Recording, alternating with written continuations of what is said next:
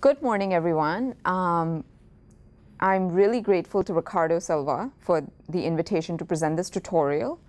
And um, I'm extremely sorry that I can't be there in person. We tried hard, but uh, we couldn't get the visa in time. Uh, so today, me and uh, Hossein Soleimani, whom you will see shortly, we're going to do a tutorial on bringing together ideas from machine learning and causal inference on the topic of doing personalized decision making. Now, more and more data are getting collected on the internet, in healthcare, as you visit the doctor's clinic, in classrooms, in order to be able to develop a more personalized uh, experience of your daily life. Uh, in today's talk, I'll focus on new methods for personalization that are broadly applicable um, in other domains like education, recommender systems, retail, but really, re the fo core focus is going to be on medicine. The examples are going to be on medicine. We've thought hard about what are ideas in medicine uh, and how to tailor these uh, techniques and tools to make it work in medicine. And uh, you know, when Ricardo sent that invitation, he wanted me to talk broadly about the use of machine learning in healthcare, which seemed, uh, you know, there's a lot of different topics to cover. Um, we've really focused this particular talk on, rather than being a broad survey, focusing on a narrow set of ideas uh, that motivate, I think, one set of approaches that uh, at least I'm very excited about. This is obviously a biased point of view. And um, rather than giving you, you know, being able to deeply work through the derivation and details of every idea, uh, the style of the presentation is going to be, you know, giving you key pointers with papers and the high-level ideas that allow you to stitch sort of the approach together. All right. So just as an introduction for those of you especially who don't work in medicine at all, but um, it'll seem broadly relevant in other areas too. How do we currently make decisions about, you know, whom to treat, what to treat with, and a large body of that knowledge comes out of clinical trials. So effectively, based on a core set of characteristics, a population is defined. So for instance, maybe adults greater than the age of 65, uh, you know, female, for instance. And then interventions are defined A versus B.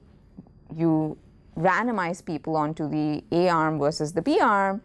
And based upon that, effectively, you see if the particular protocol was effective. And if it was effective, it becomes a recommendation. So now we're going to refer to these as population-based models. Why? Because it does not capture in great granularity much individual-specific variability. And here's a very simple example, like managing blood pressure in adults.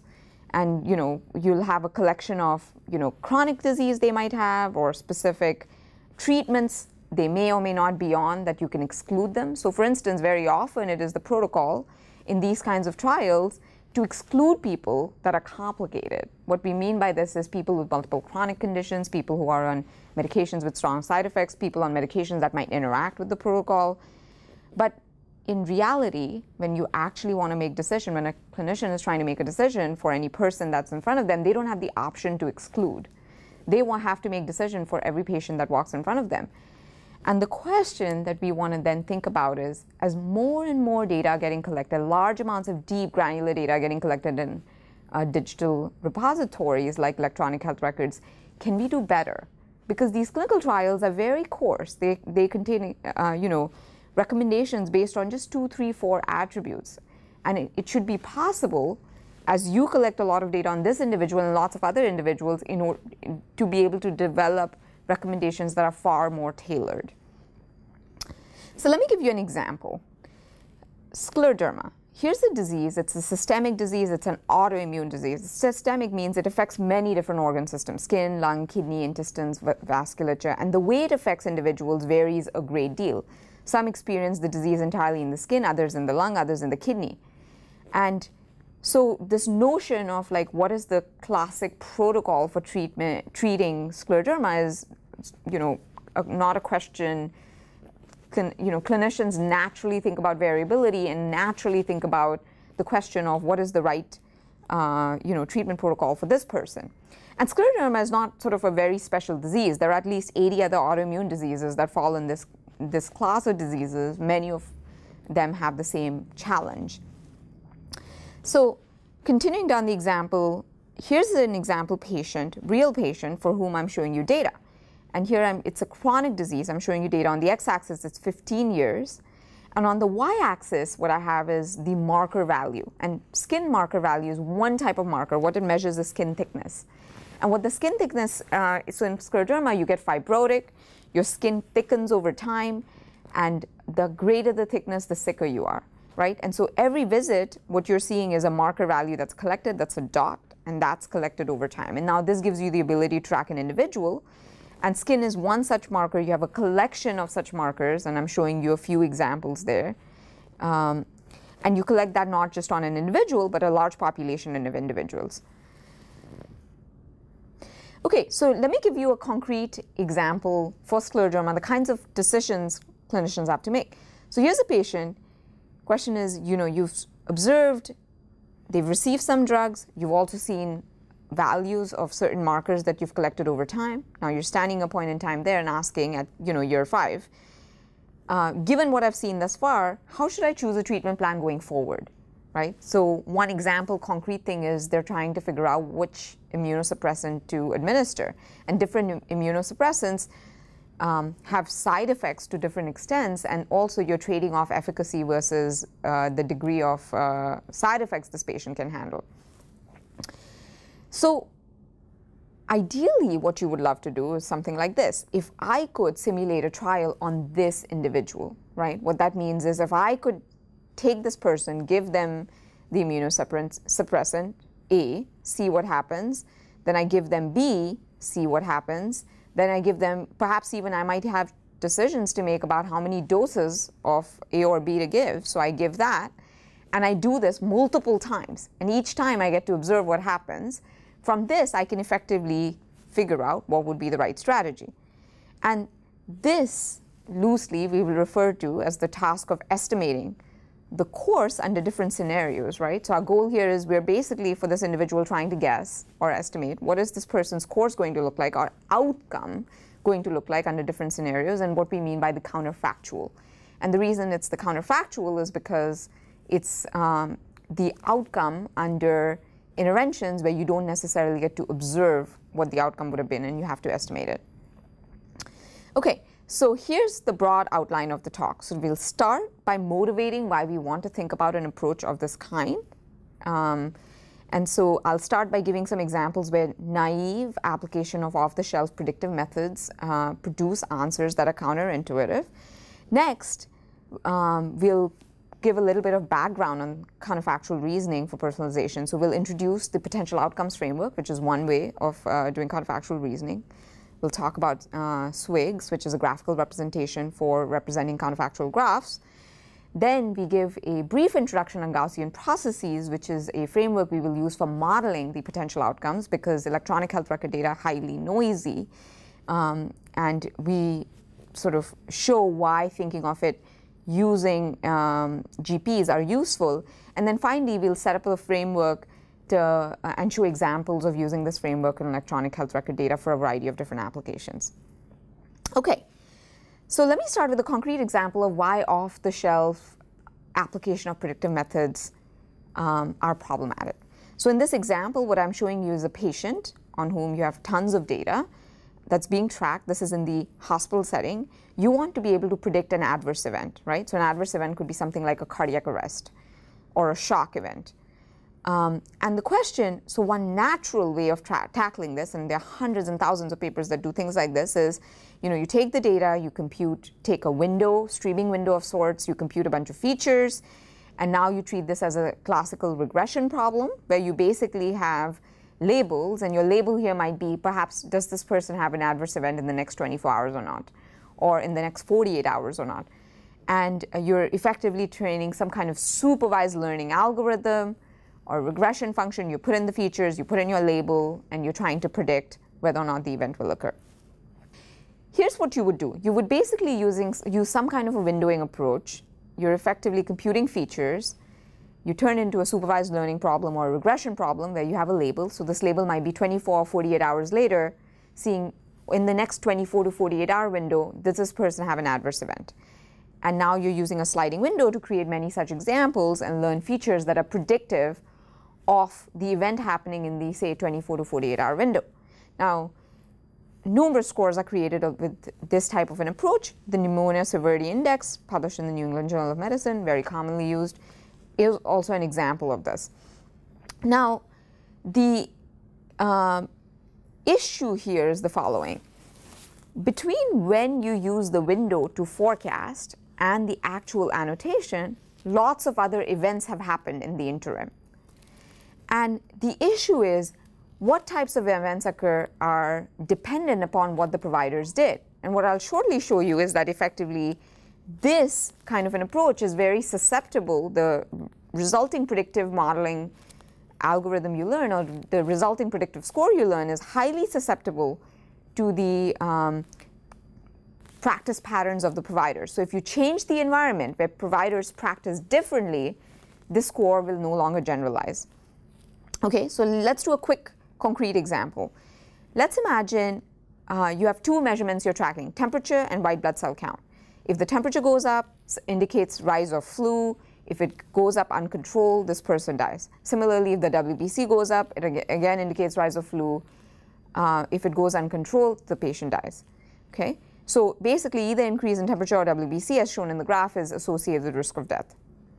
Now, in the simulation example, what I'm going to do is create different units or scenarios, right? Different hospitals where people have different provider practice pattern. And these practice patterns, I'm going to do a very simple Markov chain where patients progress until treated, and all I'm varying is the type of treatment policy I'm using. So in one scenario, I might give them treatment based upon, you know, high temperature means providers uh, start notice that and start treating right away. In another scenario, they tend to ignore temperature and they notice uh, WBCs, high WBCs, and they start treating right away. So here in this table, I'm showing you five different scenarios. Uh, the first, the second and third columns are train. The fourth and fifth columns are test. And effectively, as we go from top to bottom, I'm generating scenarios where there's more and more drift from my training to my test scenario. And in particular, the drift is of the following form. In scenarios four and five, I am eager to train using, I'm eager to treat using temperature but in my test scenario, I tend to not treat based on temperature, I tend to treat based on WBC. So this is effectively an, a version of you developing a diagnostic device in one hospital, and now you're moving to a different hospital where providers have slightly different treatment patterns. Or you even staying within a hospital where in one regime where providers tend to practice one way, and now, you know, perhaps there's a different set of providers that are being that are treating or different unit or practices have changed. And so you're looking at a second regime where people are treating slightly differently. And now I'm going to use the same supervised learning algorithm I just spoke to you about, train it in the train uh, data uh, generated from the training scenario and evaluate it in the test scenario. And what I'm showing you here is effectively, and you know, I use logistic regression. You could use a really fancy, um, you know, more flexible uh, method for doing regression or classification, but you know that's not going to change the conclusion here. And the conclusion here is, as your training and test scenarios diverge, not so surprisingly, uh, basically, and in particular practice patterns diverge, effectively you start to see that uh, you know the performance of the um, algorithm in detecting risk also diverges. So the question is why? And so very simply, when you're learning in a scenario where effectively um, training is from data where providers tend to actively treat against high temperature, you're seeing fewer and fewer examples of people where high temperatures associate with death. As a result, what you end up learning is that high temperature is not associated with high risk of death. Why? Because you're learning what the risk is conditioned on provider practice patterns and the provider practice pattern here is that they're very good, they're very good at finding people on whom they end up getting high temperature and getting treated, right? And that graph here is showing you as I increase the um, as I increase the um, change the policy to increase the propensity with which providers treat based on increasing temperature, my curve for risk association with death falls and gets closer and closer to zero. Okay, so effectively what we're learning is risk scores that are highly sensitive to provider practice patterns. And in this particular example, it is problematic that it learns something that ought to be high risk is not high risk, right? It, it only isn't high risk because providers happen to treat for it. Um, there's another really nice example by Caruana uh, where he brings up this notion of, um, you know, patients with pneumonia with a history of asthma are generally more uh, likely to die or have a uh, high association risk of death. But uh, when we sort of apply naively predictive modeling algorithms, what we learn is indeed they don't. So patients, pneumonia patients with um, asthma history actually have lower risk. And part of the reason is because these patients are the ones that end up going to the ICU more often. And in the ICU, which is a critical care unit, you get a higher level of care, you get more intensive care. And so as a result, you actually tend to get better. So another example of why you know thinking harder about how to account for um, practice patterns are important. Okay, so in machine learning terms, if we had to see this idea, one way to think about this is, and I'm showing you an example on top where you have your predictive window, you have your label, and there are interventions in the middle. And one way to think about this is basically the interventions in the middle are corrupting your label, right? Effectively, you don't have a pure label, you have a corrupted label. You have a noisy label or a censored label. So in the cases where you end up getting treated um, in the middle, effectively, you're not getting the label. And let's imagine you got treated and you never experienced the outcome of death. It's not because you wouldn't have died if you had been left untreated. It's that uh, we're not seeing the true outcome. The true outcome here meaning what would have happened had I done nothing to you. Okay, so one way, and I think an interesting and exciting way to go is to start thinking about better ways to build models that account for these types of corruptions. Okay, a different way of thinking about it is instead of using this downstream label, I could have collected a different type of supervision, which is gotten a provider to give me the severity score at the time at which I was trying to score them, it's, uh, score the uh, um, data itself. So in this example, you know, the window, the purple window, I'm trying to assess risk, if I could go to the provider and just say, can you just tell me what you believe the risk is? Obviously, this is not a scalable approach because trying to get the provider to give you the risk may be, non, maybe not very easy. Um, and so it doesn't really generalize. There are other kinds of approaches one can use. Uh, Jagged et al. propose one. But today's talk, we're going to focus on the idea of joint modeling of the both the um, the marker data and the action data and bring ideas from causal inference in order to do counterfactual reasoning. Okay, so to summarize, um, when we're applying the standard supervised learning approach, where we have our label and our marker data and our learning associations, one of the, you know, one way to think about this is it's learning who are the individuals at risk, condition upon providers keeping the practice pattern the same as the environment where you train the model. Okay? But the thing you really want to know is who is the person at risk if I had done nothing. In other words, what is likely to happen to this patient given the history if we treat versus do not treat, right? And you want to be able to rank patients based on risk had you not treated. And all the individuals previously that you had treated would now effective, you know, that doctors were routinely treating would now start becoming high risk and the algorithm would correctly account for the fact that the reason they were low risk is because the um, because they were treated, not because the markers um, that cause the doctors to treat are indeed markers of low risk. Okay, and now in order to be able to ask this question of what would have likely happened if I were to treat versus not treat, this is a question that we will answer using um, counterfactual reasoning. All right, with that, uh, Hossein will present the next section that will give a brief background on counterfactual reasoning and potential outcomes. Hi everyone. So in the last section we saw that using off-the-shelf machine learning methods for clinical data could be problematic and we saw that why we needed causal predictions. So in this section we are just going to go over counterfactual reasoning. We are going to set up the potential outcome framework and talk about SWIGs. So So let's begin with a simple example, which we're going to use throughout this section to, to, to motivate examples and to, to describe different concepts. So let's imagine that we hypothesize that exercise could lower blood pressure. Now, the question that we want to answer is that can we take an existing data set and test this hypothesis and estimate the effect that exercise could have on blood pressure? So one natural question that one could ask is that can we just get any data set, observational data, and a data set that has people who do exercise and, and those who don't, and then can we just take average of blood pressure for people who do exercise separately and for those who don't, and then compare these averages? Would that be the causal effect of exercise on blood pressure?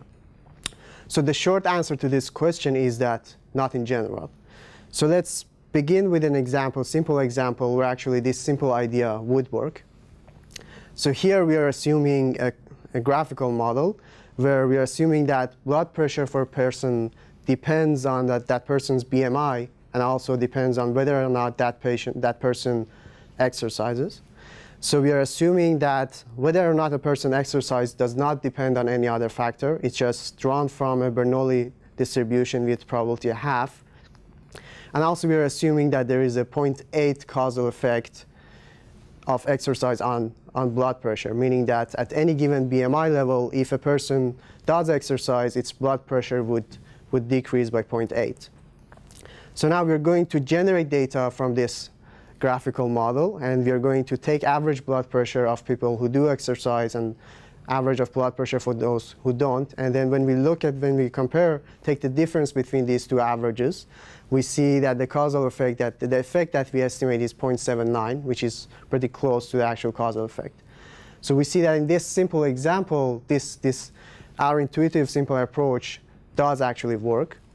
And the reason that it does work is that we've assumed that the, whether or not a person does exercise does not depend on any other factor, and it's just basically a 50% probability that any person could, could be assigned to, do, to exercise or not exercise. Now let's move to a slightly more complicated example where now whether or not a person is asked to exercise depends on its BMI level. So we are assuming that if a person has higher BMI, it's more likely to be assigned to the exercise group. And so we adjust our graphical model to, to account for this fact. And so, so we generate data from that graphical model, and now we, we look at the average difference of averages. And now this time it turns out that it doesn't work. Looking at the average of blood pressure for people who do and don't exercise do not work. And the reason is that this time, unlike the first example that we saw, that whether or not a person exercises depends on that person's BMI.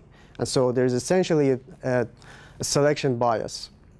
So the, the question is now, how can we adjust for this bias? So one approach for doing this is what's called weighting. So, so the intuitive idea here, is that when we take these averages, we want to count some people who are sort of underrepresented in our population. We want to count them more. So what, does, what it means is that, for example, there are people with low BMI who were just randomly assigned based on that distribution, were assigned to be to were asked to do exercise. And for example, other there are other patients with high BMI who were asked to not exercise. These are people who we do not expect to see very frequently in, the, in our population. So we want to count these people more, assign higher weights to these people. So how the way it works is that we, we just compute the probability of assigning a treatment, in this case exercise, to, a, to each, for each person, and then we take the inverse of that probability as the weight for that individual. So this slide is just, we're just formalizing that idea a little bit more. So omega i is just that inverse of that probability of assigning a treatment. And now what's, what's important here is just we are assuming that we, we either know this distribution of treatment, assigning treatments, or we can estimate it. And the other issue is that this, this method could have very high variance. So an alternative approach for, for doing this is what's called a potential outcomes framework, which is the approach that we are going to take in this talk. So to understand this framework, let's, let's again, going back to our simple example, let's think for each individual, let's conceptualize two alternative realities. One where under, under one reality where the person does exercise, and under an alternative reality where the person doesn't exercise. Now, we, we call the blood pressure for, for that person under each one of these realities a potential outcome. now, of course, in practice, we don't get to observe both of these realities. We only observe one of them. But let's, for now, imagine that we can somehow estimate these two potential outcomes. If we can estimate that, then computing this causal effect is very simple because all we have to do is to look at the difference for each individual, look at the difference between these two potential outcomes, and then take average over entire population. So let's, to just formalize this idea a little bit more, we are going to define two different random variables, y of a and y of b. y of a here is the blood pressure with exercise, and y of b, blood pressure without exercise. Now, I want to emphasize here what, what this notation means. y of a, for example, does not mean blood pressure for people who, were, who just happened to be assigned to exercise. y of a means that blood pressure for people, if we get to ask them to exercise, and if we get to ask someone to do exercise, what would the blood pressure for that person look like? And similarly, y of b is if, if, if, if we ask someone to, to don't exercise, what is the blood pressure for that person? And so more generally, if we have more than two alternative treatments, we can also index set of random variables using a, a collection of actions and treatments. So now, the, for, the, for the rest of this section, we are going to talk about assumptions under which we can estimate these potential outcomes using observational data. so it turns out that there are three assumptions that if they hold, we can estimate potential outcomes from observational data. These assumptions are consistency, treatment positivity, and no unmeasured confounders. so I'm going to talk about each one of these assumptions in the following slides. All right, so the first assumption is consistency. What it means is that if we get to observe blood pressure for some person who were assigned somehow based on some assignment strategy to, to do exercise, the blood pressure for that person would be the same if we get to ask that person to exercise. So a little more formally means that the potential outcome, y of a, would be equal to the observed y conditioned on, on the treatment. All right, so, so the second assumption is positivity. And what it says is that for any set of covariates, we need to assume that there is a non-zero probability of seeing each treatment. And what it means is that we can't, if, if there is not, if there is, if if there is, if this assumption is not true, then we can't generalize and we can't learn the conditional model for those treatments. so for the third assumption is no unmeasured confounders, and what it says is that we have to observe all confounders. Now to understand what, what a confounder is, let's go back again to our simple blood pressure and exercise example. In that example, BMI was a confounder because it induces a statistical dependency between the observed treatment, which was whether or not a person exercised, and the observed outcome, which was the blood pressure. So what this assumption means is that in order to have an unbiased estimate of the potential outcomes, we have to observe all these confounders. And a little more technically, what it means is that condition on the covariates, the potential outcome should be independent of the treatment. so to make this last assumption a little more intuitive, we can look at what's called a single world intervention graph, or SWIG. So SWIGs are just extensions of graphical models that would allow us to explicitly represent potential outcomes. One key operation that we do on, on SWIGs is, is called node splitting, which allows us to, to, to do this node splitting operation on treatment variables and which allows us to represent interventions. So let me give you one example. so on the left, we see a causal graphical model. We are assuming that there is only one treatment variable A, there's one outcome Y, and we are assuming that there is no confounders.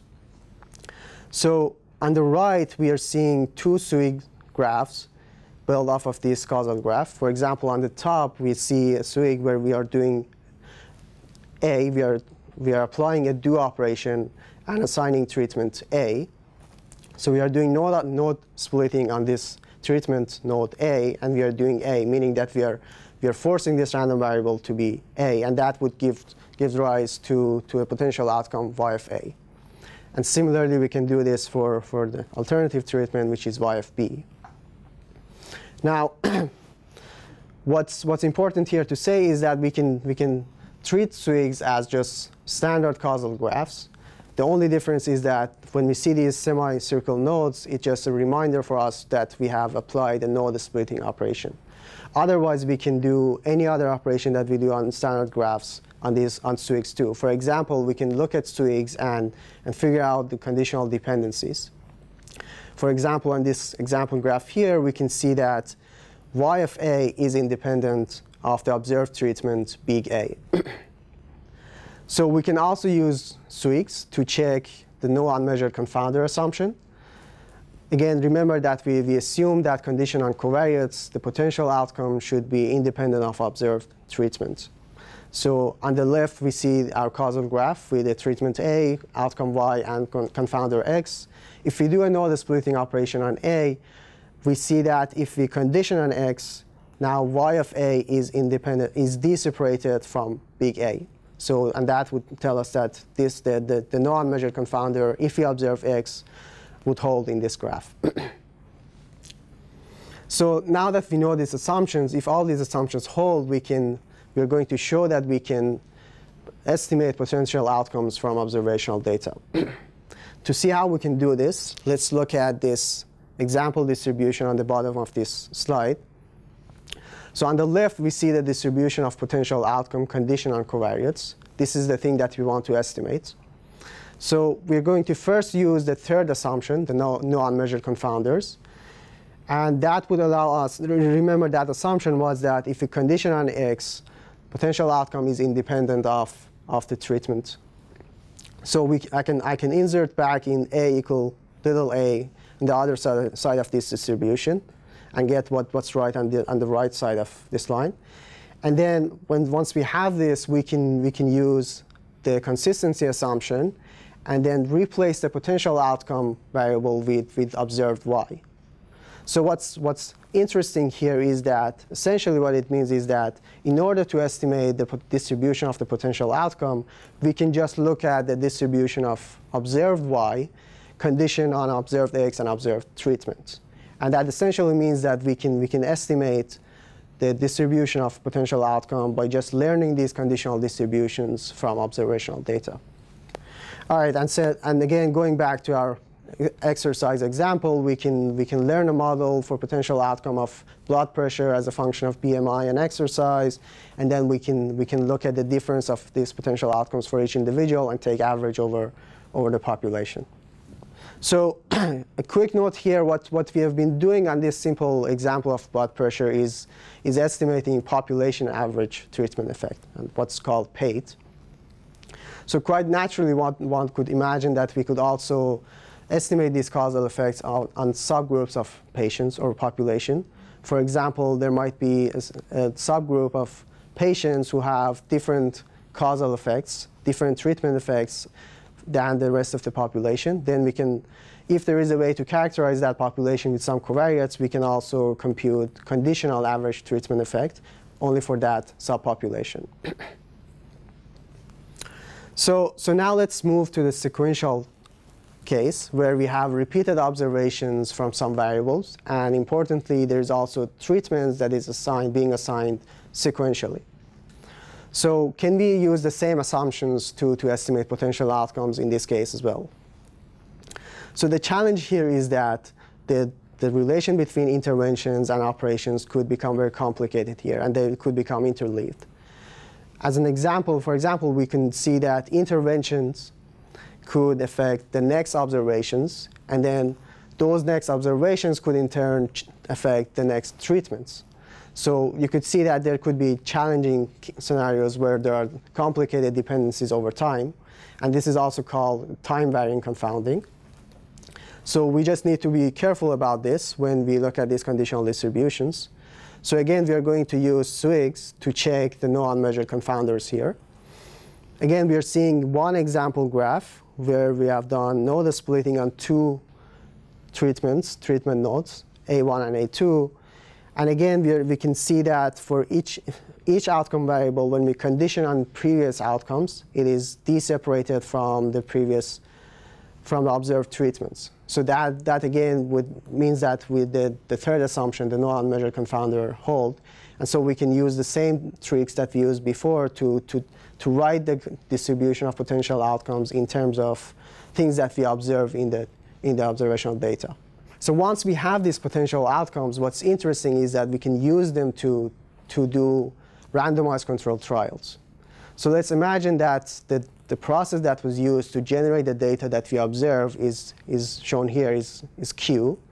There's a distribution to generate the covariates, condition on covariates, treatments were somehow assigned, and then condition on treatment and covariates, the, the outcome were, were determined.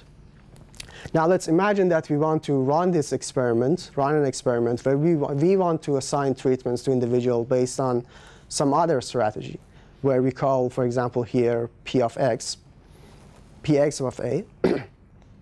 so what we can do on the first line, we, we, we showed in the previous slides that this conditional distribution of y given a and x is basically the same as, as the distribution of potential outcome conditional covariates. So we can change that distribution there. And then to do to, to, run another experiments where we where we choose to, to assign treatments based on a distribution that we would like, we could all we need to do is to just change that distribution of treatment assignment, which was P of observed A given X in the in the observational data to any other distribution for assigning treatments that we would like. And that would essentially gives us a way to to to run an experiment with any treatment assignment strategy that, that we want. There are many examples of using potential outcomes for, for estimating causal inference. One for estimating causal effects. One example case here is, is, is this paper by Taubman et al., where they're using the same strategy for, for running a simulation trial to simulate population with different, with different interventions and then use that, those simulations to, to estimate the effect of the risk of coronary heart disease under different interventions. For example, under if, if someone quits smoking or if someone maintains BMI less than 25 or so on. All right, so th there's this other paper is also interesting by, by Brodersen and et al. They are looking to estimate the effect of single discrete time intervention on a time series, on a sequential data. The, the assumption here is that we have a target time series y, and we, we get to observe this time series, and you can see this is the black line here in the figure. And at some point, that some interventions begin, begin on, this, on this time series. We also have some surrogate time series, some other time series, x1 and x2, which, are, which we are going to use, which they're using to predict y, the target time series. And now the, the point is that there is no intervention on these other time series x1 and x2.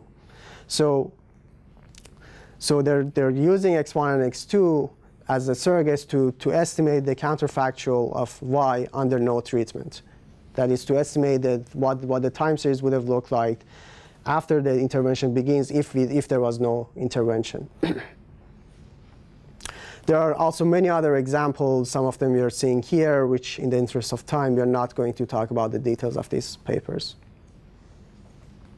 So before, now before going to the next section, we are going to quickly talk about some of the challenges of fitting clinical data, working with clinical data, and we're going to briefly talk about Gaussian processes. So The challenge in working with clinical data is typically that this kind of data is very messy. So here you can see one example signal for 25 individuals.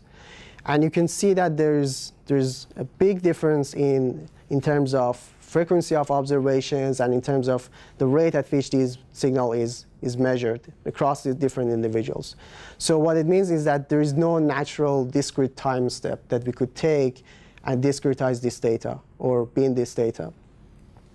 The same thing is true if you look at different signals for one individual. You can see here that there are some examples, some signals like heart rate that are much more frequently sampled than compared to, for example, lactate or creatinine. And again, this, this all show that we, we can't simply choose a simple discrete time step and discretize the data.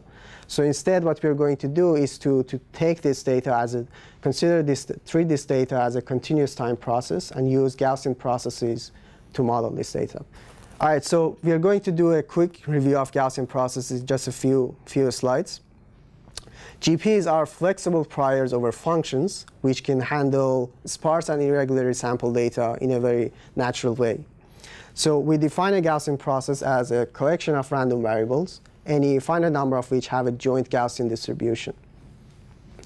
So we can fully specify a Gaussian process by just defining a mean and a covariance function, which is sometimes also called the kernel function. You can see here three sample draws from a Gaussian process with mean 0 and, squared exponential kernel. Once we observe some, some data, we can also compute the posterior of Gaussian process conditioned on those observations. For example, at any given time t star, we can compute what the value of function we can compute the distribution of the, on the value of that function at that time, conditioned on the observations. So by, by definition, the, the distribution of this value of function at any given time and observed data is jointly Gaussian. So in order to compute the posterior, all we need to do is to compute the joint distribution of observed data and the value of function at any other point, and then take the conditional distribution of f star given given observed data. And that is done use, based, based using simple properties of multivariate normal distribution. And again, in this, in this figure, we are, we are seeing we have three or four observations. We computed the posterior. And again, we are showing three sample draws from the posterior of this Gaussian process. All right, so how can we fit a Gaussian process when we have observed data?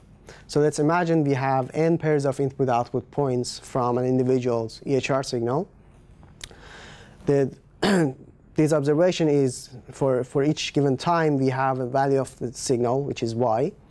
So y, we're assuming is, is generated from a Gaussian process plus an additive noise term. For the noise term, we are, we are usually assuming that that noise term has a Gaussian distribution. We have to still specify what the mean and kernel function for this GP is. So for the mean function, we are usually assuming that the mean function is set to fixed to 0. And for the kernel, there are, there are numerous examples we can, numerous choices we can take. One common example is, is the squared exponential kernel, which you're going to see here. This is parameterized by, by one parameter L, which is called length scale, and that sort of controls how the correlation or covariance between points at t and t prime changes as the or decreases as the distance between these two points increase. So once we specify our Gaussian process, we in order to estimate these parameters, the length scale of this of the kernel and also the variance of the noise, one common way to do this is to compute the marginal likelihood. So we compute this marginal likelihood by integrating out the, the GP process, the, the latent function f, which has a GP prior on it. So in, in this case, because, because we made this choice that the, the, the, the noise is also has a normal distribution, the marginal likelihood is also a Gaussian distribution, so which we can we can very easily maximize to to to estimate L and sigma squared. Okay, so there are many different examples of using GPs to fit EHR signals on, or clinical data in general. we are showing some examples here. You can see that these signals could be very complicated. They could have very challenging structure. Some signals could be very sparse. Some others could be more frequently sampled, and GPs could generally fit, fit very well to this kind of data. All right, so Suchi is going to come back and talk about using these Gaussian processes and potential outcome framework that we set up. And she's going to talk about using these frameworks to do counterfactual reasoning on, on clinical data. So Hossein just talked to you about potential outcome, the potential outcome framework. We're going to come back to our problem where we started of trying to figure out for this individual what is the right thing to do. And now let's imagine we wanted to figure out what is the trajectory look, going to look like under option A versus option B, treatment versus no treatment. And um, if we had to do this at 10 years, then you could imagine, you know, just modeling the random variable, which is the value of this particular marker at year 10, condition on history. Now, in the rest of this talk, we're going to not just think about the random variable at a specific point in time, but trajectories. So, for example, uh, in the example I'd given, what is this person's lung trajectory going to be um, under different treatment interventions um, given their history? Okay. So in thinking about trajectory valued outcomes, we effectively are modeling y of t, where t is over an interval. We are modeling the distribution over functions. So that's a potential. So what is the distribution over functions under they receive treatment A versus treatment B, okay? Or a sequence of interventions um, in the future, okay? And in thinking about this, let's go to a, a, concrete example. Here, what I'm showing you is creatinine. So creatinine is a lab test that's done. It's used to measure kidney function. High creatinine values are bad, low creatinine values are good. On the x-axis is uh, time in hours, and what I'm showing you is data from an individual of creatinine markers. Um, and blue is data in the history, orange is data in the future.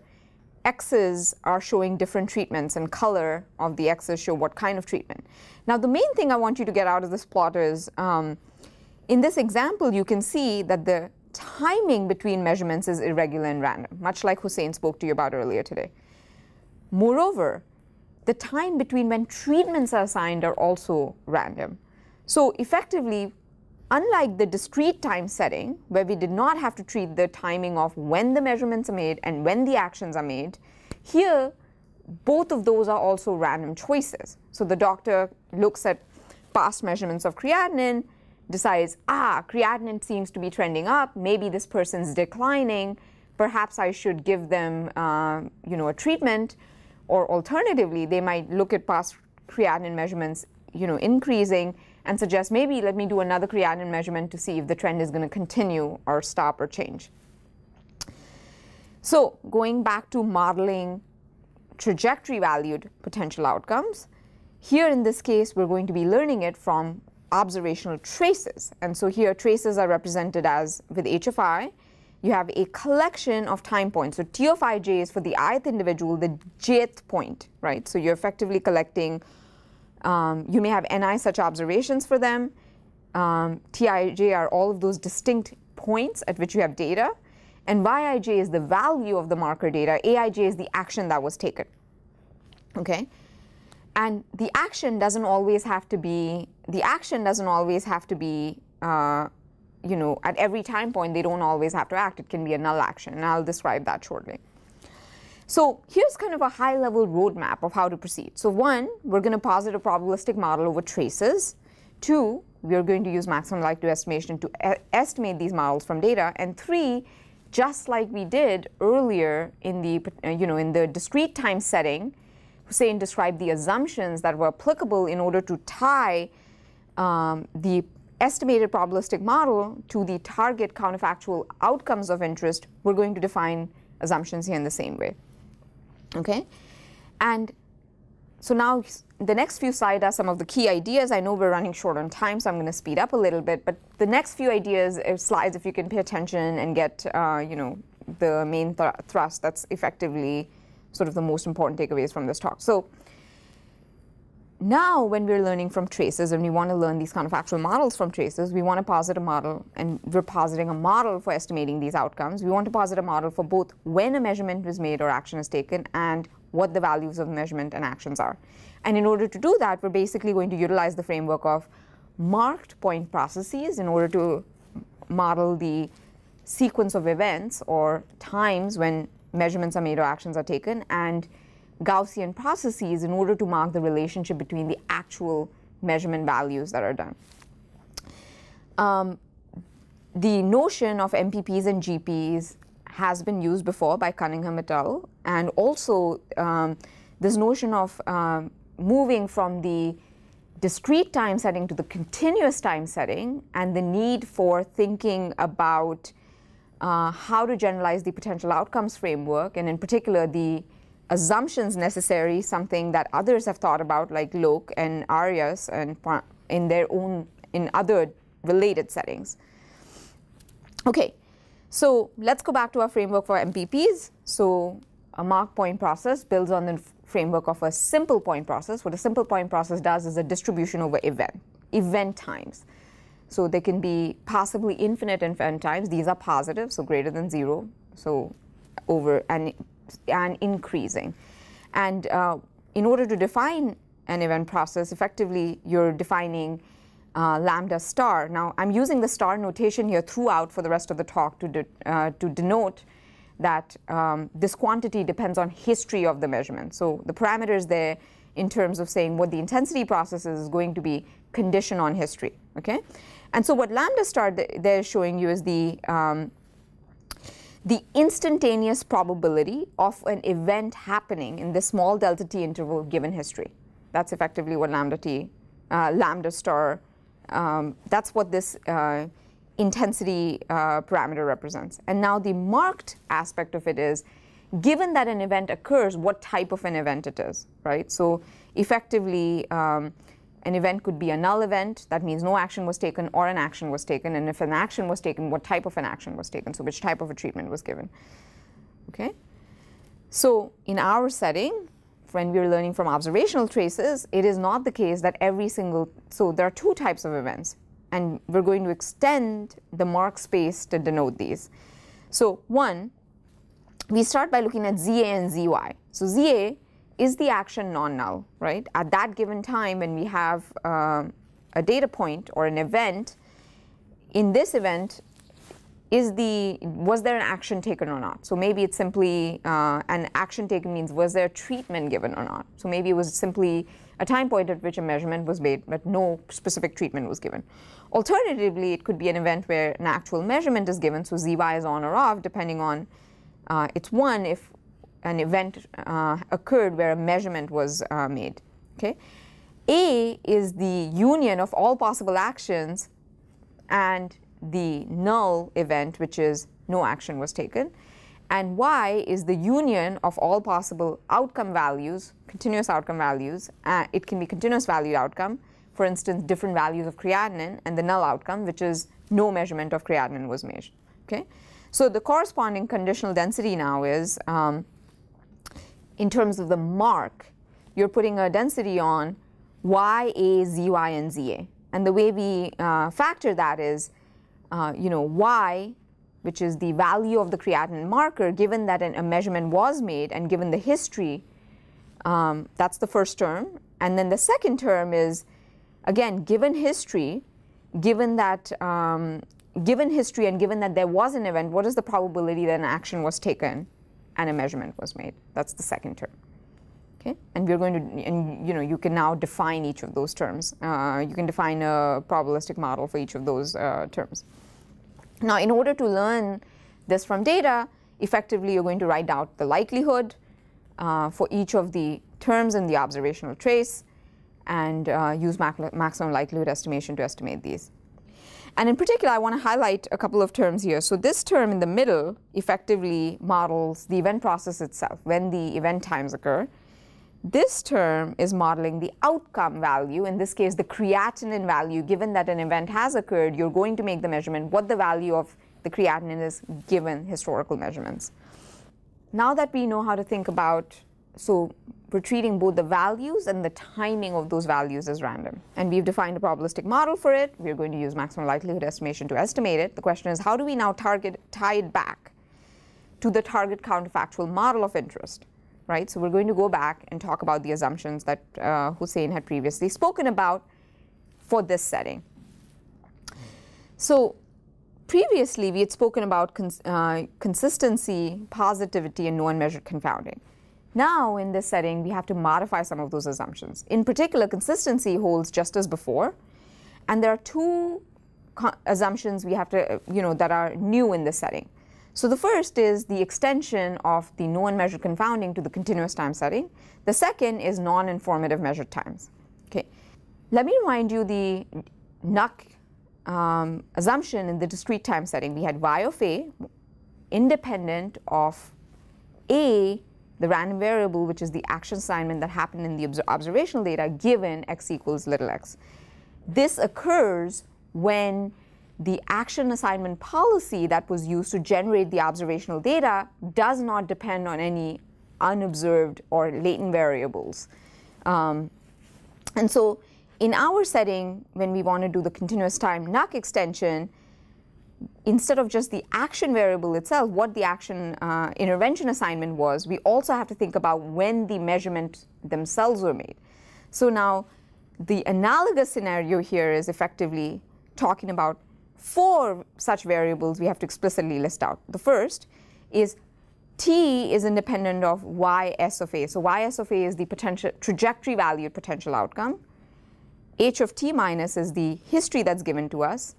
s is a time past t from, from where you're estimating the trajectory valued potential outcome. And effectively, it says ys of a is now independent of t, the timing at which measurements are being made in the observational data. Second, um, similarly, ys of a is also independent of um, a, zy, and za. So both the choice of uh, what action was taken, whether or not the measurement was made, and when the measurement was made. Okay, so these assumptions are true when the choice of when to measure depends only on the observed data. Similarly, the choice of which actions to give or which interventions to give in the observational data depends only on the history of the patient, right? So an example, a simple example of this would be as follows. Let's imagine the creatinine scenario I had given you where a doctor is choosing to measure creatinine levels and their choice of when to measure is dependent entirely on data that's already visible in the electronic health record, right? Which is often the case in a hospital setting. So for instance, they see the creatinine measurements go up, and based on that, they're choosing to decide whether to take another creatinine measurement or not. Similarly, they're seeing the creatinine measurements go up, and based on that, they're deciding whether or not they want to treat, and when to treat, and how to treat. Okay? This third uh, assumption is about non-informative uh, measurement times. In particular, intuitively, the way to think about this is a measured outcome at time t is an unbiased observation of the trajectory at that time. So it's not the case that effectively, you know, what you're observing has been selectively reported. Okay? So to review, if the stated assumptions hold, which is of consistency, continuous time NUC, as described earlier, and non-informative measurement times, then um, the estimated likely, the model can be tied back to the counterfactual model, which means what would have happened had you done X. So the estimate is effectively giving you, uh, the estimated model is giving you an estimate of the counterfactual outcome, which is had you done X, what would have happened. Now, an important caveat here is in stating these assumptions, you can actually look at data and think about, you know, are these assumptions being violated and the degree to which they are being violated, right? And very often these assumptions are being, uh, you know, you know, you'll have to go back in your domain and think hard about what assumptions are true about the data generating process in order to reason about these assumptions. Moreover, I swept under the rug that um, the estimated uh, uh, estimated potential outcome is going to be what you would have obtained had you done this trial, but that also relies on the assumption that the um, the way you've chosen to model the potential outcome is not restricting you in ways that you can't express properties of the data generating process that are true, right? So if there are certain, uh, and actually let me get back to that in the context of concrete examples. So to review, I spoke about the framework using MPP and MPPs, um, and here in particular today we're talking a lot about Gaussian processing, use of Gaussian processes to model the outcome Y. Uh, instead of using GPs, you can use other more flexible models uh, for modeling the outcome data. Um, but today we'll focus on using um, GPs. And now for the rest of the talk, I'm mostly going to focus on, you know, given those assumptions, you can estimate it using this framework. Now, the part that I've left unspecified is how am I going to talk about, you know, how am I going to represent P of Y given history, okay? So let's start with a very, very simple model. So here, again, going back to your data, thinking about the data generating process is useful because the outputs you'll get out of it are much more interpretable and useful. Moreover, if you're making strong assumptions that are false in the data generating process, you can't hope for your resulting estimates to be useful and correct. Okay, So here's an example. Again, here in the, I'm showing you an example uh, with creatinine. And uh, the first graph here shows you uh, how creatinine on, on a person with chronic kidney disease, the creatinine values goes up over time. And this is a simulation, by the way. So creatinine values are going up over time. In red vertical line, what I'm showing you is a time at which I do an intervention.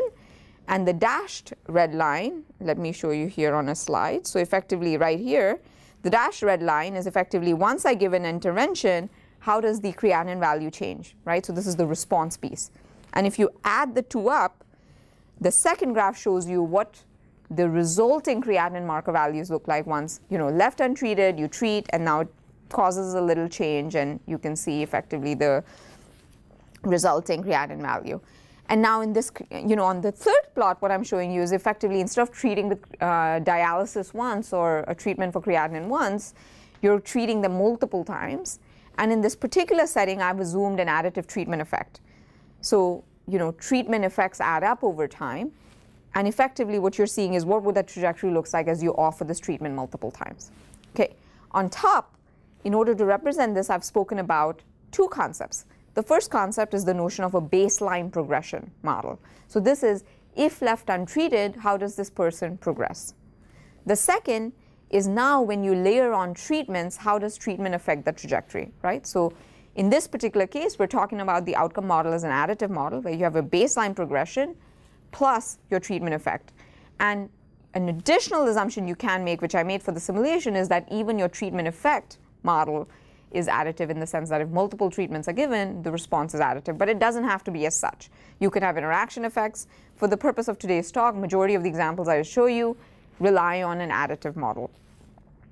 And again, this is an example of a type of violation. If you don't know anything about the data generating process and you're making strong assumptions that are incorrect for the data you're modeling, then the resulting estimates of the counterfactual uh, outcome are not going to be correct either. So in order to represent your baseline progression model and your treatment response model, you can make varying choices depending on, uh, upon the domain and the data set you have. And there are numerous other uh, pieces of work that have explored, for instance, you know, using a mixture of GPs, hierarchical GPs for treatment response, depending on the dynamics of the particular treatment you're modeling, you might choose different classes of flexible parametric functions. And I'll show a few examples today. Okay. So let me start with an extremely simple example to now motivate this framework, contrasting it with the first example I had shown of doing classical regression, right? So in this example, I'm going to do the following. I have a patient, I have data on them for some period of time. I want to predict their outcome in for the 12 hour in the future, okay? And I have some historical data. And I have 200 such trajectories for training, 200 such trajectories for testing. In this particular simulation example, I assume patients come from three classes. The baseline progression model comes from three classes. These classes are represented as uh, functions from a GP, where your mean is represented using uh, B-splines. And there are three types of trajectory. They have a declining mean. Second is they have a first uh, a declining mean and then it stabilizes. And third, a stable trajectory. For the treatment effect component, we assume something um, simple, which is the treatment increases the mean function by a constant amount, in other words, improves the marker value by a constant amount uh, for the two-hour period after the when the treatment is given. And we assume an additive treatment effect. Okay, so now we're going to evaluate what happens when we use the proposed framework versus the framework where we just do classical regression. So if we wanted to predict at time 12, or 12 hours in the future, what is the value of the uh, outcome, in this case, let's say the creatinine measurement is going to look like given history. One way to do this is to treat this as a uh, you know, uh, classical regression problem using Gaussian processes. So you have your, you know, you have your covariance kernel, you estimate those parameters, and you're computing the conditional distribution of the marker value at hour 12, condition on the historical data that's available. Okay. The second approach is using the proposed framework. Now, in your training data, now here's the critical idea. In your training data, all sorts of stuff might have been done to them from, let's imagine you had 0 to 12, 12 to 24. Okay, so 0 to 12, you're taking your training data, you have 0 to 12, 12 to 24. You're learning from your training data, what is the value of the trajectory at hour 24, which is 12 hours past the 12th hour mark, and you're predicting condition on history in the first 12 hours. Okay, I hope that wasn't too confusing. So now the question is, in your training data, between the hour 12 and 24, lots of other treatments have been, might have been given. But when you're doing classical regression, you're going to ignore that and we effectively answer what the average value would have looked like under, you know, in the training data. Now, in the CGP framework instead, here when you're asking for this individual given history, what is the what is the outcome at hour 24, which is 12 hours after when you're predicting, you're now asking what is the outcome going to be under no treatment, right? So when you're asking this question of what is the outcome under no treatment, in your training data, all of those trajectories where people had received interventions, you have to discount or account for the effects of those interventions in order to compute the outcome, what would have been had you not treated this individual, right? So the type of generalization is slightly different. In the latter, from your training data, individuals who had received treatments, you're effectively generalizing by accounting for the treatments they have received, discounting it, and then forecasting. Versus in the former approach, the classical GP uh, regression approach, you're just averaging over uh, possible treatment regimes. Okay, so now if your training and test environments were the same, the example that I started this talk with, then the RGP and CGP predictions are very similar. Effectively, the question you're asking about what would this person's average response look like at hour 24, um, here what I'm reporting is mean average error of the predictive trajectories from 12 to 16, 16 20, and 20 to 24 hours. And what we're seeing is basically the errors are very similar across the two frameworks. But now, as we start, so let's imagine I learned, so in this particular setting, I'm learning from data where I had lots of interventions in 0 to 12 and no interventions 12 to 24. And when I apply the RGP CGP framework, they're going to give the same, what I'm reporting here is the average error in that setting. Now, when I instead have data where there are tons of interventions between 12 to 24, when I apply the RGP versus CGP framework, CGP appropriately discounts for treatments that were given in the training data and is able to learn something. And you can see that the CGP performance doesn't degrade versus the RGP's performance degrades. And this is again going back to the original example, as the distribution of the um, um, prescription policy or the treatment assignment policy changes, effectively classical regression methods have a harder time. They're, you know, you can't generalize as well. Okay. So now let's go to a real example. So this is going back to my example of creatinine. I started with this motivating example of doing what if analysis, which is for this individual, tell me what will the creatinine trajectory look like had I done X versus had I done Y. Um, so here in, in, in our, we look at data from uh, real patients in the hospital setting. Uh, we use data, um, we're going to model the baseline progression and the treatment response functions. Both of these were motivated by reading of the literature and um, the types of effects uh, you tend to see for creatinine data in particular. And here in this case, we represent, um, I'm showing you the mean function, the response function. I don't expect you uh, expect to sort of describe these in detail. This is only to say that um, uh, the, the dynamics of these are selected uh, you know, while they have parameters that we learn, the dynamics are motivated by the marker themselves. In this slide, I'm going to show you now the application of the framework we just spoke about for the motivating example of doing what-if analysis with real clinical data. And so here on the left side, what I'm showing you first is a patient where they received intermittent hemodialysis. In green are all the in green are shown the points that the tool has access to in order to forecast the trajectory. In red are all the points in the future. And this person you can see green point, green crosses, those are all of the points at which hemod intermittent hemodialysis was given. And then what we're plotting for you are two, the, the mean, the posterior mean of two, two trajectories. One is the um, version where they actually, it's under the factual treatment, which is them getting hemodialysis at those specific points. And the other is the counterfactual, which is under no treatment.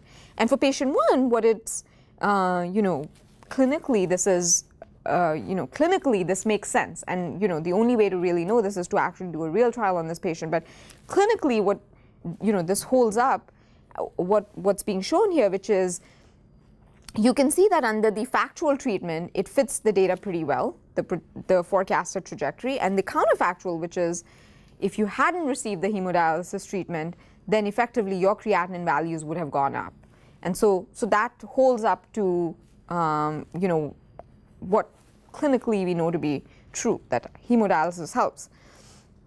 In the second example, we're now showing you an, uh, a case where this person actually happened to have not been treated uh, past the point of predict, uh, past the uh, past the point at which we're uh, forecasting the outcome, and I'm showing you a counterfactual here instead, where we offer three or four doses of uh, hemodialysis, right? So in this patient, we're saying CVVHD is a continuous version of hemodialysis that's given, and so we show you four different uh, times at which it's given, and we show the counterfactual trajectory of what would have happened had they received um, um, hemodialysis. And again, clinically, the, what you know, this holds up in the sense that if I had given you hemodialysis, your creatinine values would have gone down and your trajectory would have improved.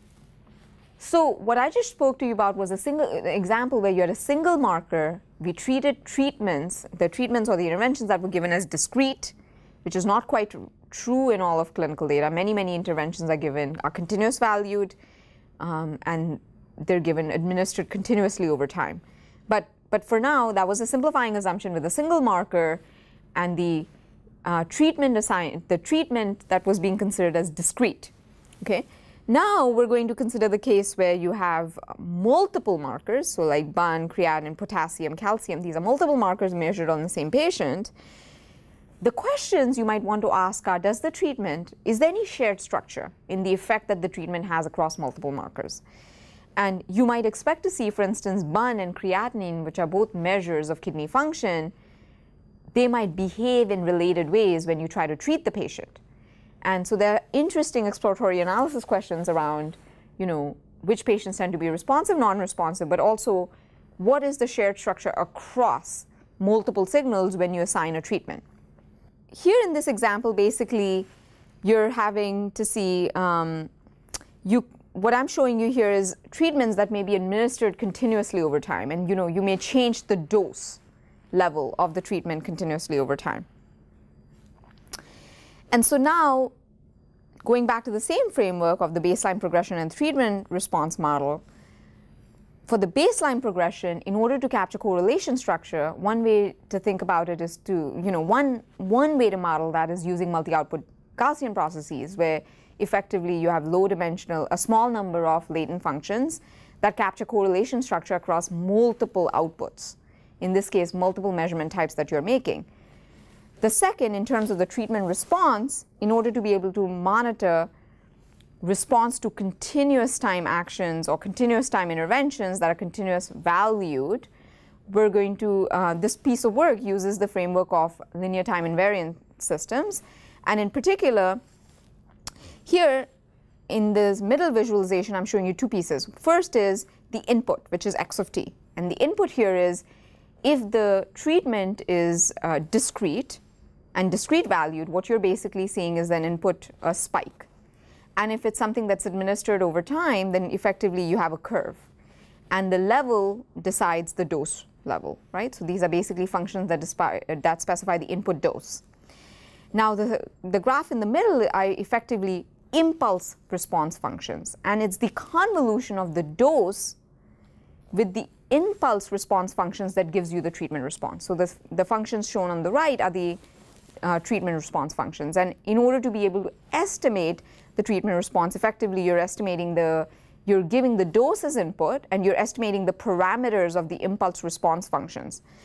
Um, an interesting aspect of you know LTIs are effectively uh, different. This is a way of expressing uh, you know if there are biological systems where you have differential equations that describe what the treatment response model is effectively you can bring those in uh, in order to model treatment response in this setting. Okay, and so now, um, again, let let me show you a simple application of this to data. um, here we use uh, MIMIC2 data, again in the inpatient setting. Uh, we're looking at uh, different types of treatments here, all related to creatinine. So same example, CRRT and IHD. Uh, instead of looking at just creatinine values itself, we have six different markers. We're looking at patients with acute kidney injury with a fair number of creatinine values, so more than 10 observations. Um, and uh, in the data set we'll analyze, we'll take 70% of the data from a patient as training and using that to forecast the uh, response to treatment. Um, now, in order to show the value of using um, you know, a CGP-based approach versus, say, uh, a couple of other classical approaches people use, so BART, people have used BART very, um, uh, BART has shown a fair amount of success in causal inference tasks for being able to take data and estimate treatment effects. Um, However, BART is typically tailored for cross-sectional data, so we do a comparison with BART to illustrate the importance of not binning the data. The second, we also compare with LSTMs, which are state-of-the-art models for doing um, time series prediction. And um, in, in the cases where they're both discrete time models, what we're doing is effectively binning the data, uh, training um, training a predictor where given history we predict the next time slice, now given the predicted time slice and the history we predict the next time slice and so on and so forth. Okay? And what I'm showing you here is the uh, root mean squared error.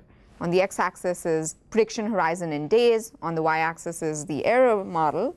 And effectively, um, the proposed framework has much lower error, significantly lower error then, and you, you can see the error bars, they're very tight around uh, the uh, reported results. And basically, the proposed model has significantly lower error compared to, say, LSTMs or, or BART uh, applied to this kind of data. And again, for more details, um, you know, that I glossed over a ton of very important details in terms of how the baselines were set up and exactly how the error models were measured. But just sort of the quick takeaway here is that indeed, when we try to compare to models that do binning and discretization, um, you know, the proposed approach makes a huge difference. Furthermore, uh, when we try to compare with powerful models where we don't actually model this mechanistic structure of baseline model and treatment uh, treatment response model, which, for instance, LSTMs aren't doing, um, taken as is, then again, the proposed model makes a big difference. Qualitatively, you could take again, the outputs of these are very exciting and interesting because you can now look at the inferred on any given individual, you can look at the inferred baseline progression and treatment response models um, and effectively ask questions like what kind of shared structure exists? And who tends to be responsive and not responsive. And now a word of caution. While we used ideas for causal inference in order to be able to estimate these, there were lots of assumptions we made about uh, the particular outcome model, and more also during the estimation procedure, it's not the case that all of these functions are identifiable. So you have to kind of treat this more as an approach to doing exploratory analysis rather than make formal claims about the estimated effect. One last example, and this is using the idea to use to estimate um, use uh, do Bayesian estimation of treatment response um, from electronic health record data in settings where you know there's heterogeneous treatment response. So in this particular example that I'm showing you, effectively we have individuals where we're modeling the response um, of different interventions that are given for blood pressure. These are vasopressors, beta blockers, and fluids.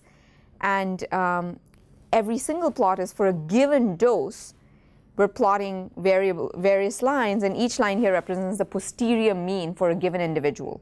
So the first things to gloss over here is the fact that, um, you know, um, there's a huge amount of variability across individuals, um, and and it's and while in some plots, for instance, uh, the first vasopressor plot, you can see that there's some clustering going on. So there are people who tend to be non-responsive, people who are somewhat responsive, people who are not uh, responsive at all.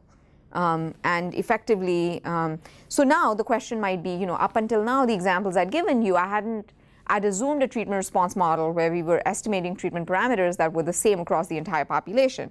Now, again, going back to the same framework, now what we can do is we're looking at the function, the parameters that describe the baseline progression model and the treatment response model. You can put hierarchical Bayesian priors that allow you to um, get posterior estimates on what the treatment response function might look like at the individual level. Moreover, as new data arrive, you can effectively refine your estimates. So again, another interesting tool for doing uh, exploratory analysis and allowing you to get an estimate of what this sort of trajectory would have looked like under different treatments. So to conclude, I hope in the very least, in the very first part of the talk, um, you know, for those of you who are building predictive models quite a bit using electronic health data, I've convinced you that um, you know, naive application of predictive models may lead to models that are counterintuitive and violate construct validity. In other words, you know, um, just like we gave you in that example where we where the model came up with the fact that high temperature in flu is not associated with high risk. Um, then you know there were natural reasons why that's happening is because effectively when we are training predictive models we're not accounting for the um, interventions that are then affecting your ability to generalize. So we introduced this uh, notion of using um, counterfactual reasoning. In particular, we focused heavily on this notion of observational traces. So from that, which is what we obtained from sparsely regularly sampled uh, electronic health record data. We spoke about developing this framework with uh, this notion of uh, assumptions that were necessary to tie the potential outcome model to the estimate to the conditional distributions we were going to estimate from data. In addition to that, uh, assumptions you might write down to write to uh, for the potential outcome model itself. And what this means is um, the baseline progression model, the treatment response model, and really the main takeaway is it's really important to think hard about your data generating distribution. There's not really an easy, you know, we would all love to have a tool where you can just download the tool, take some data, press some button, out come some answers. And it's extremely important to think hard about, in clinical data especially, it's very hard, important to think about, you know, what is the data generating distribution? What are the assumptions, data generating process? What was the assumptions driving the data generating pr process? And then assuming all those assumptions are satisfied, you can sort of get some degree of comfort or you can start to reason or get some degree of comfort around to what extent the estimated counterfactual trajectories are likely to be correct. Okay, uh, many, many open challenges. Um, you know, we need a, a, more rigorous framework for knowing when to trust the model. So how do we check sensitivity to the assumptions? Some assumptions are not testable. Others might, others you can do sensitivity analysis with respect to. And so uh, coming up with a way to incorporate those ideas to evaluate, you know, you know, there isn't a notion of this is correct and not correct versus the degree to which it's correct, right? So the degree to which the estimated counterfactual trajectories are correct.